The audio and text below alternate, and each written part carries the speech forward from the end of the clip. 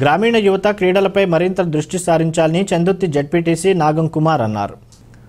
చందుర్తి మండలం ఎన్గల్ గ్రామంలో జిల్లా స్థాయి క్రికెట్ టోర్నమెంట్ పోటీలను ఆయన ప్రారంభించారు. ఈ సందర్భంగా జడ్పీటీసీ కుమార్ మాట్లాడుతూ గ్రామీణ యువత వేసవిలో చెడు అలవాట్లకు దూరంగా ఉంటూ క్రీడలపై దృష్టి సారించాలన్నారు. కరోనా విజృంభిస్తున్న నేపథ్యంలో ప్రతి ఒక్కరూ వ్యక్తిగత జాగ్రత్తలు తీసుకుంటూ మాస్కులు శానిటైజర్ వాడాలన్నారు. ఎన్గల్ గ్రామంలో క్రికెట్ టోర్నమెంట్లో ప్రథమ బహుమతి విజేతలకు జడ్పీటీసీ ఇరవై వేల రూపాయలు ప్రైజ్ మనీ అందజేస్తామని హామీ ఇచ్చారు. కార్యక్రమంలో గ్రామ సర్పంచ్ లింగంపల్లి సత్తయ్య నాయకులు మొకిలే విజయేందర్ లింగారావు క్రీడాకారులు గ్రామస్తులు పాల్గొన్నారు. జిల్లా స్థాయి క్రికెట్ టోర్నమెంట్ ప్రారంభించడం జరిగింది. ఈ కార్యక్రమం టోర్నమెంట్ ఆర్గనైజేషన్ కోసం మాకు కూడా ఇవ్వడం జరిగింది. సర్పంచ్ గారికి మరి అలాగే ఇప్పుడు చెన్నతి జడ్పీసీ గారికి మా హృదయపూర్వక కృత- కృతజ్ఞతలు. ఎనగల్ గ్రామంలో జిల్లా స్థాయి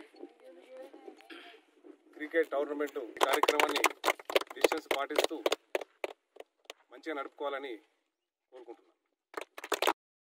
చందుర్తి మండలానికి చెందినటువంటి ఎన్గల్ గ్రామంలో రాజన్న సిరిసిల్ల జిల్లా స్థాయి క్రికెట్ టోర్నమెంట్ను ఈరోజు సర్పంచ్ గారు మేము ఇంట్లో మెయింటైన్ చేస్తాం కనుక ఆ విధంగానే మెయింటైన్ చేయాలని చెప్పి మనస్ఫూర్తిగా కోరుకుంటూ మరొకసారి ఆర్గనైజర్లందరికీ సర్పంచ్ గారికి ఈ కార్యక్రమం పాల్గొన్నటువంటి పాజోల్ పాజోల్ టీం కొండాపుట్టి వారందరికీ మనస్ఫూర్తిగా ఆల్ ది బెస్ట్ చెప్తూ ముగిస్తున్నాను. ఏమనగా మాస్కులు తప్పనిసరి శానిటైజర్ డిస్టెన్స్ సోషల్ డిస్టెన్స్ పాటించి విజయవంతం చేయగలరని కోరుతున్నాం